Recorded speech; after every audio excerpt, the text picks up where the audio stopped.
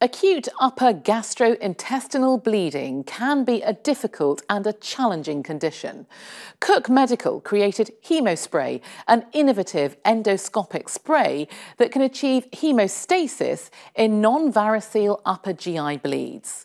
Hemospray deploys without contact with the bleeding site or the need for the precision of other treatment modalities.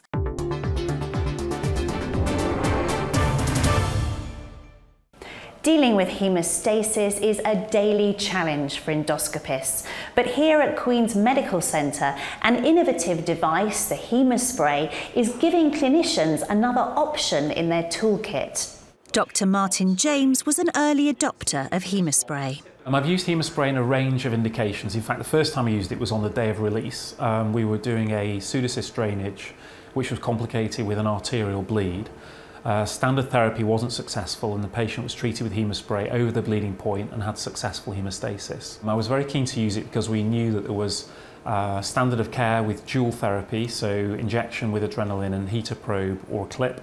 But often we saw patients who couldn't have their bleeding controlled and often needed other procedures such as interventional radiology or rarely surgery. And the way it works essentially is by driving this inorganic uh, inert powder uh, through a catheter using CO2 um, to drive the delivery.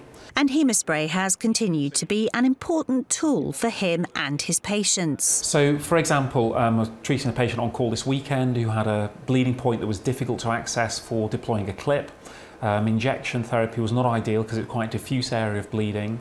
And this, even in retroflexion of the scope, uh, gave access to deliver therapy with a good stream of powder that over the course of three or four minutes of several sessions of uh, treatment gave a whiteout and control of treatment and that patient then has settled over the weekend without any evidence of rebleed during the first uh, three or four days. So the time I would use a hemospray is when standard of care therapy has been inadequate and there's ongoing bleeding or if the location for treatment is difficult to be treated with standard of care.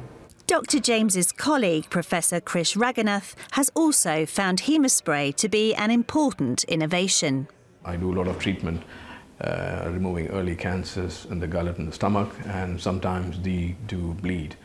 So uh, when they bleed, then we use uh, hemospray uh, to control the bleeding. Because previously, we used to uh, um, try and uh, treat them with injections of adrenaline and things like that, and the patients would need major transfusions. But with hemospray, you're always a bit confident that um, if there is a bleeding, you can always manage that. So, how does this translate into boosting staff confidence? Especially with our new starters, it makes them more comfortable going into an emergency situation or even our routine procedures like EMRs and ESDs. They know that can, they've got that there, it's easy to use, and it makes them feel a lot more confident coming into that situation. We know that current treatment is imperfect. It can work in a majority of patients, but there are difficult cases where we need to think of other options. And without the investment in innovation such as Hemospray, it's hard to see that we can advance the field of medicine.